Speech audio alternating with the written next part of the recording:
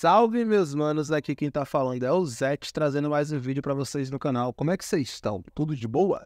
Eu espero que sim, porque aqui a gente está na mais perfeita paz. Guys, é o seguinte, esse vídeo aqui, ele tá sendo gravado com áudio separado, tá? Porque esse boss, ele demorou muito, beleza? Que é o boss da fada. Mesmo assim, o vídeo ele tá acelerado, ele tá em 1.5, velho. E a gente tem ainda aí 37 minutos, tá? Então foi bastante tempo que a gente acabou passando nesse boss aí, tá? Então é o seguinte, eu vou explicar para vocês alguns pontos, algumas coisas relacionadas a esse boss, relacionadas a outros bosses também, que vão facilitar a tua gameplay, tá? Eu acabei aprendendo isso na marra e com a call de alguns amigos também, né? E isso foi bem complicado, foi bem difícil na realidade mesmo, beleza? É... Então a gente vai partir para essa linha aí, para poder pegar e apresentar para vocês esse aspecto de como vai ser feito o boss, tá bom? É... Aqui no começo, a gente está basicamente fazendo o lure dos monstros, né? Então trazendo os bichos e fazendo eles em paralelo. Então a gente está com 65k de precisão, ou de poder, também com 140% de ataque, 182 de ACC, né? E 178 de defense, beleza? E vai ser nessa pegada que a gente vai seguir o boys. E eu vou te falar uma coisa: isso aqui é o suficiente e é o suficiente exagerado se você for fazer da maneira que a gente vai passar aqui no vídeo, beleza? E ele é um não suficiente se você for fazer da maneira tradicional o que vai explicar aí o porquê que algumas pessoas com mais status que isso não estão conseguindo e o porquê que outras pessoas com menos status estão conseguindo aí. Então agora aqui a gente vai ter a ativação do boss, tá? Mas se lembre, se você quiser fazer a compra de diamantes com desconto, é na MMOXP e basta utilizar o cupom do ZetNFT para receber 5% de desconto, beleza? Então vamos dar um segmento aqui para o nosso boss. Aqui a gente teve a ativação do boss. E nesse primeiro momento, a gente está fazendo ele da maneira tradicional para poder fazer o procedimento de teste aí, né? Da quantidade de acerto que a gente vai ter e a quantidade de DPS que a gente vai conseguir é, tancar esse boss, tá? E aqui a gente entra para dois aspectos, beleza? A gente está usando, utilizando a nossa poção do nível 40 na mão, beleza? E isso ela aumenta a quantidade de cura da gente. E aí, o que acontece?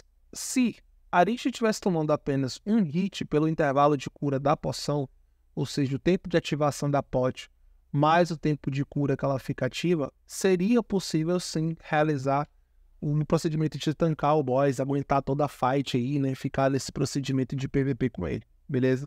Só que isso não acontece. Por quê? todos os boss do jogo, tá? Isso vale para esse boss, boss anteriores e boss futuros do Nightcrawl. Eles vão ter dois tipos de interações, tá?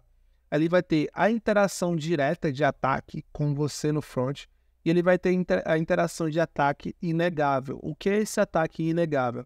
Vai ser o ataque que o boss vai efetuar em você do ponto inicial que você estava. Ou seja, se você passou do lado do boss e o boss ele tentou efetuar um ataque, mesmo que você se distancie milhões de metros, tá? Esse ataque ele ainda vai pegar você. A gente viu isso um exemplo bem claro na parte do Cavaleiro da Morte que a gente trouxe aqui no canal, tá? Pela distância do Cavaleiro da Morte, ele não está sendo é, priorizado nem sequer na parte de terrenos. E o que é que isso vai importar aí na parte dos bosses geral? Isso vai importar porque vai focar no parâmetro da movimentação que você vai ter que ter, tá? E aí eu vou corrigir algo que eu trouxe para vocês e que eu errei aqui no canal, tá? Que é o seguinte.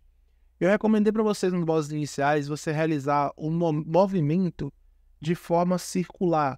Porém, esse movimento circular ele não vai ser aquele que a gente vai conseguir tirar mais proveito da situação, tá? E isso se dá ao fato de que quando a gente está fazendo o procedimento de círculo, que é esse procedimento que a gente está fazendo no vídeo, a gente vai ter mais de um ponto de encontro. Como assim? Visualize o seguinte: o boss ele vai estar tá no centro do círculo, tá? Então, no momento que a gente começa a caminhar nele ao redor, é, fazendo esse círculo, sempre o boss ele vai estar tá no, num parâmetro que ele não está na distância que vai favorecer a gente, a, o ataque dele, tá? Então acaba que você vai apanhando mais. No exemplo que a gente tem aqui agora é o exemplo dessa pedra, em que a gente vai repetir mais ou menos o mesmo cenário que a gente tem, entretanto aí vai acontecer um ponto interessante, que é o efeito de colisão do game, tá? Então aqui nessa pedra, o que é que acontece? A gente vai ter a questão do boss sendo um ponto de encontro principal para gente, tá? Porém, a gente vai começar a utilizar tanto para esse boss quanto para outros a questão do favoritismo do terreno, tá? Então essa pedra aqui, ela tá num ponto de oscilação em que ela vai estar tá na divisão entre dois pontos no nível mais baixo e nível mais alto do terreno. Tá? E o que é, que é importante você entender em jogos de mundo aberto aí? Na questão de parâmetros de jogos de mundo aberto, a gente vai ter o terreno como um empecilho ou um auxílio na parte da nossa gameplay em geral. Então, nesse caso aqui, o que acontece?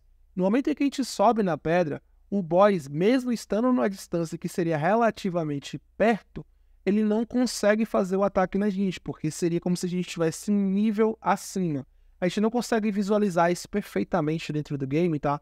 Por conta da perspectiva que a gente tem. Só que vocês vão reparar isso ao longo do procedimento do boss, que quando ele está embaixo, ele não consegue atacar a gente é, quando a gente está em cima, a menos que a gente também esteja no desnível da pedra, esteja tipo entre o parâmetro de troca de terreno. Entretanto, quando ele estiver em cima, ele vai conseguir atacar a gente de uma maneira um pouco mais tranquila. Por quê? porque ele vai ter a vantagem do terreno.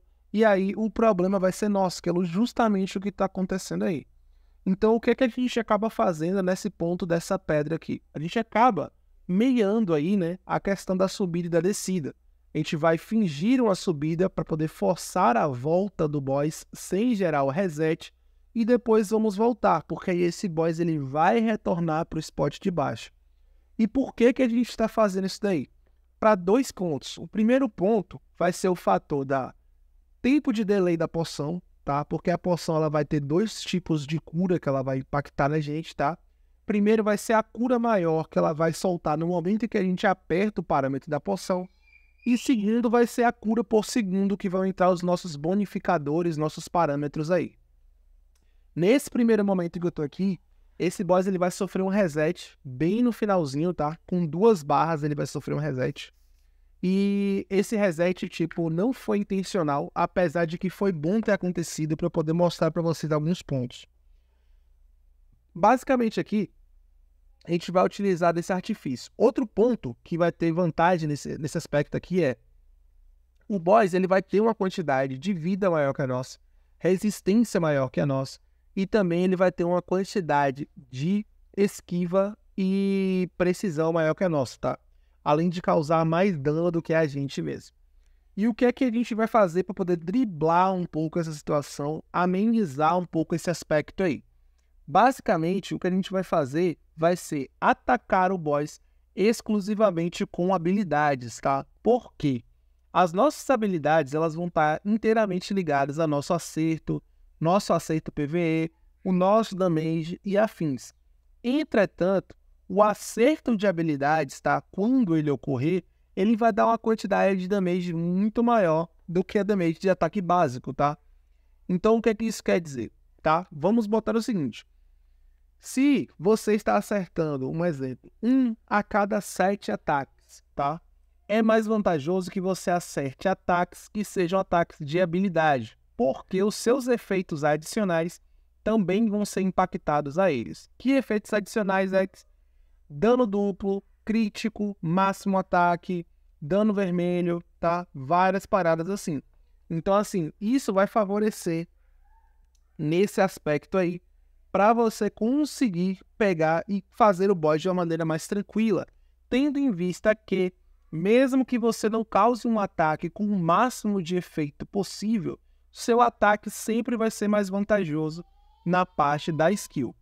O que é que vai ter em outro ponto positivo nesse aspecto aí? O outro ponto positivo que a gente vai ter vai ser o fator da economia de potions, tá? Por quê? Normalmente, a quantidade de DPS que a gente causa com uma habilidade, ela vai ser uma quantidade de DPS muito mais alta do que a quantidade de DPS causada por um ataque básico, tá? E isso daí vai impactar que você vai ter uma economia de potions maior pelo fato de você estar tá utilizando aí menos poções em tempo de trocação com o boss. Como assim? Se você está com dois parâmetros de efeito aqui, o primeiro parâmetro é você está esquipando um dos ataques do boss por conta da oscilação de terreno, primeiro ponto. E você está causando mais dano nesse boss no, inter no intervalo de tempo relativamente menor. Isso quer dizer que você vai passar menos tempo nessa, nesse boss, no caso na fada, tá? E, por consequência, você automaticamente vai consumir menos poções, tá? Tendo em vista que menos tempo de luta vai ser menos tempo que você vai ter que passar queimando o recurso aí. Então, esse aí seria o primeiro aspecto da parte do boss, beleza? Então, a gente vai ter essa variação aqui e a gente vai ter o procedimento de reset daqui a pouco desse boss, tá?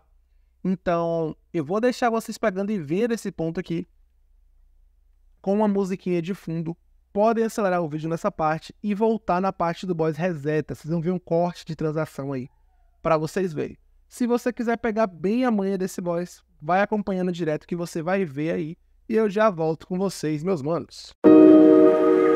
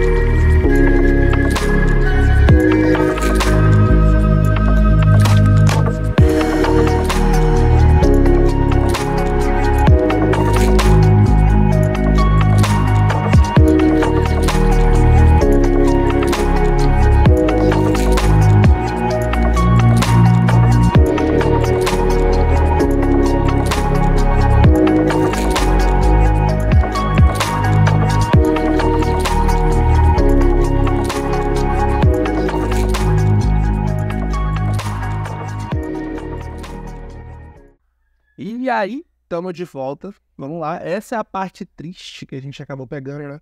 Que foi o do reset do boss. O que, é que aconteceu aqui nessa parte desse reset? Vocês vão observar que eu estava fazendo o procedimento de oscilação do, do boss, né? De mudar de um lado para o outro. E eu acabei que eu esquipei turnos demais do boss. Esse boss vai sair do modo de combate, tá? Então teve esse ponto aí. A gente vai reiniciar o boss agora com 2.200 potions e eu vou começar a fazer esse boss com muito medo, cara. Então, a gente vai puxando o boss, tá? Pra poder pegar e seguir. E com isso daí, é... eu tava full pistola nesse momento. Eu falei, vou realizar uma trocação com esse boss aí.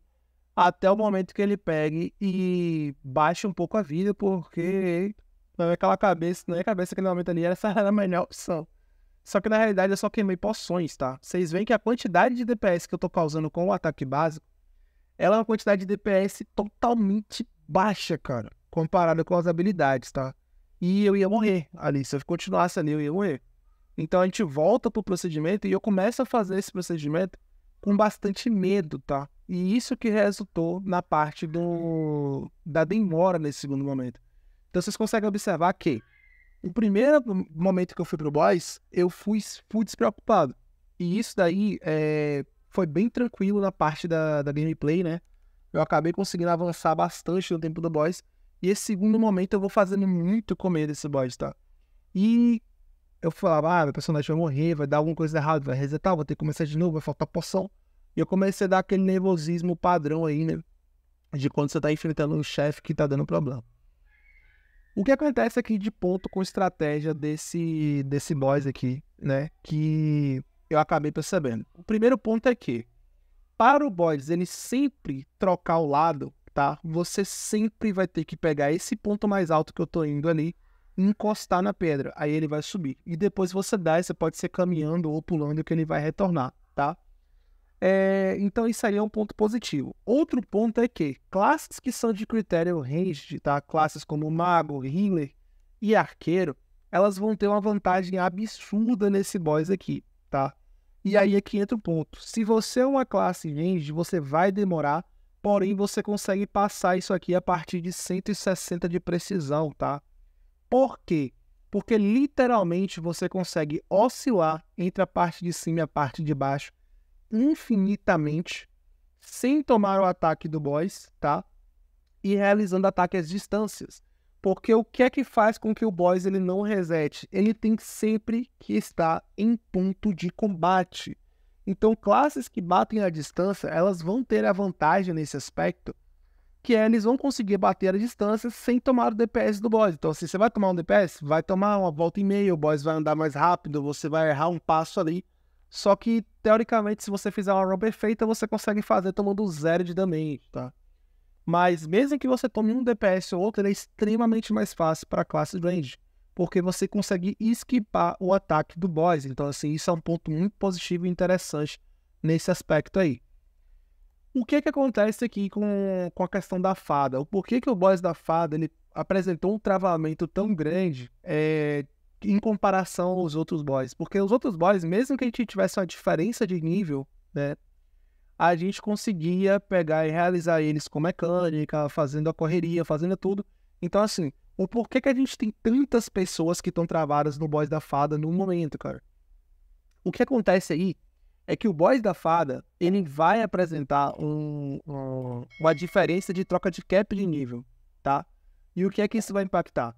Essa diferença de troca de cap de nível, ela vai fazer com que personagens que estejam com um nível abaixo do 43, eles tenham que ter uma quantidade de, de acerto muito grande para conseguir suprir esse aspecto do boss, tá? E isso é um problema, beleza? Porque a maioria da galera que está jogando, ela não vai ter uma quantidade de acerto muito alta. Porque o que, é que a gente tem que te faz aumentar o nosso acerto hoje? Nossa seta a gente vai ter a parte do Codex, a gente vai ter os parâmetros de armas azuis, armas secundárias, acessórios e afins.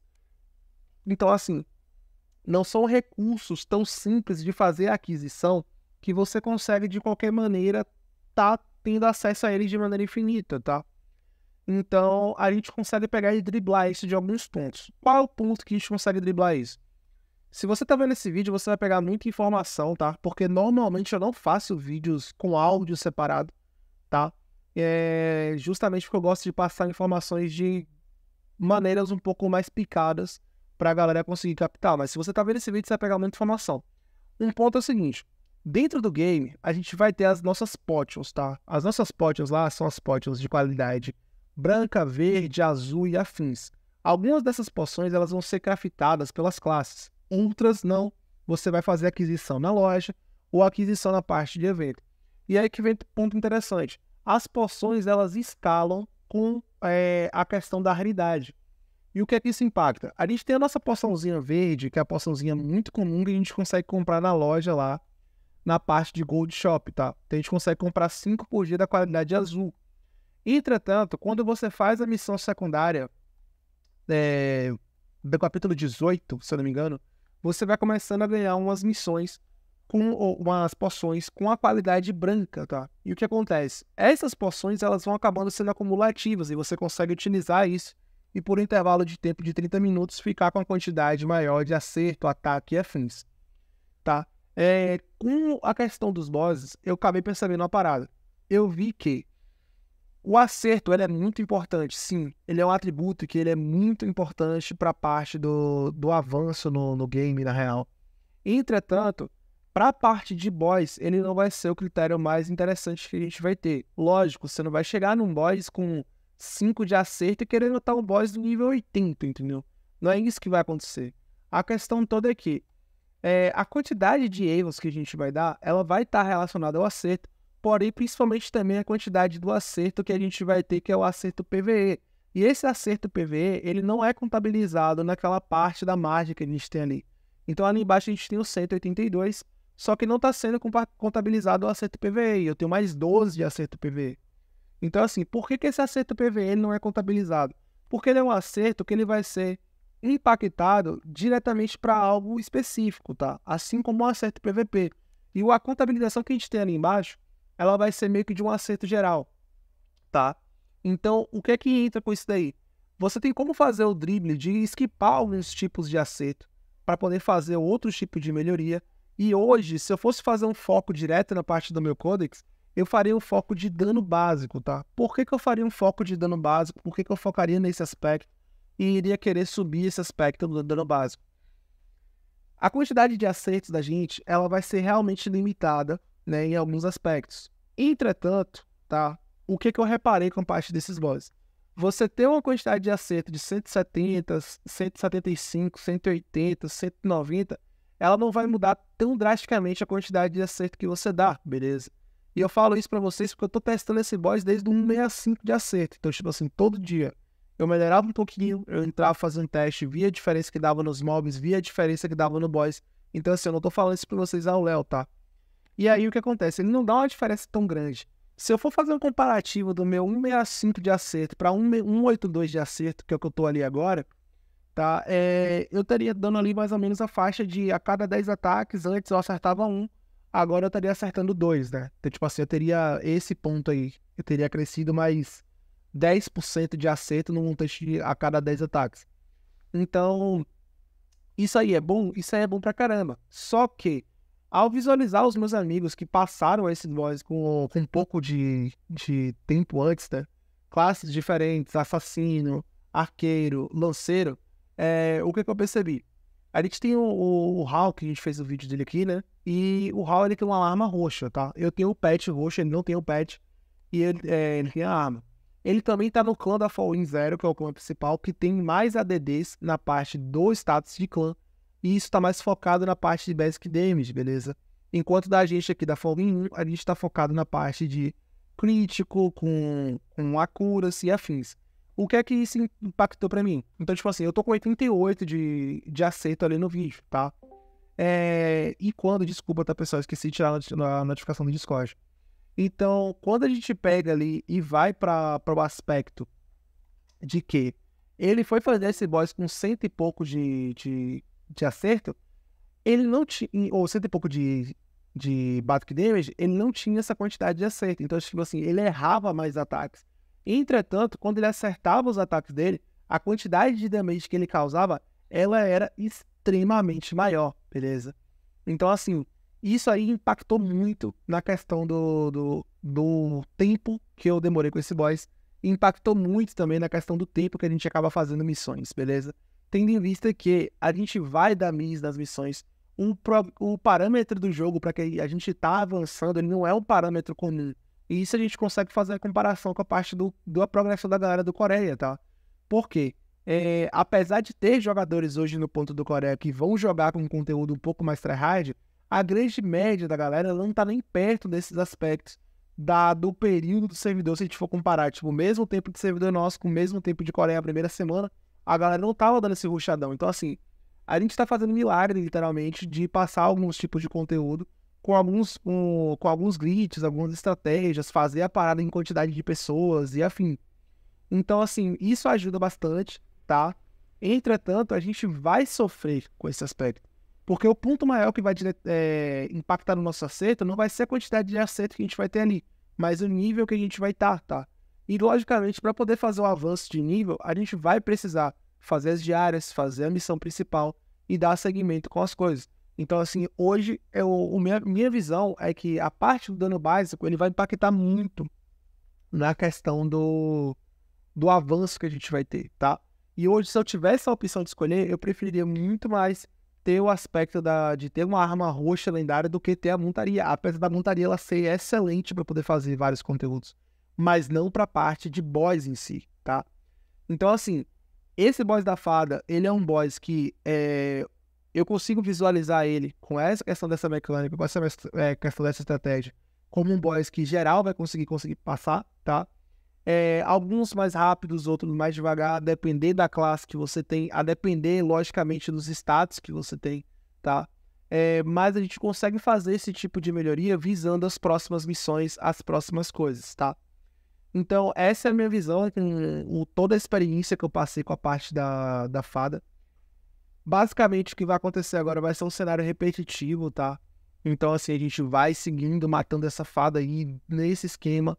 Ela vai demorando, beleza? Então, assim, se você for contar o tempo de, de que eu iniciei o boss para o tempo que eu matei, levando em consideração que teve um reset, e eu demorei ali por volta mais ou menos de uma hora, tá? Para poder fazer esse boss com o reset, que dá mais ou menos uns 30 minutos de tempo pro boss. Então foi uma, a, algo bem desafiador preparar para esse boss, tá? Ao longo desses dias, ver tanta gente travada nesse aspecto também. Só que ele serviu muito para poder pegar e ver a visão que, que eu vou ter, a progressão que eu vou ter com o meu personagem, coisas que eu vou focar e como eu vou conseguir pegar e melhorar para poder não passar por tanto aperto, tá? Na parte do jogo. Então, é, eu espero que esse, esse vídeo auxilie vocês, tá? Esses minutos finais eu vou deixar tocando nossa musiquinha de novo, beleza? Eu espero que vocês tenham gostado desse conteúdo, que ele tenha sido explicativo. Se esse conteúdo te ajudar, deixa um like, deixa um comentário, porque isso ajuda demais e motiva muito pra gente continuar trazendo conteúdo para vocês. Se for possível também, apoie a gente com a CID, porque isso também fortalece muito a nossa visibilidade com a parte do Emix, tá? Eu sou o Zete, eu agradeço demais por ter cada um de vocês aqui. Obrigado e fui!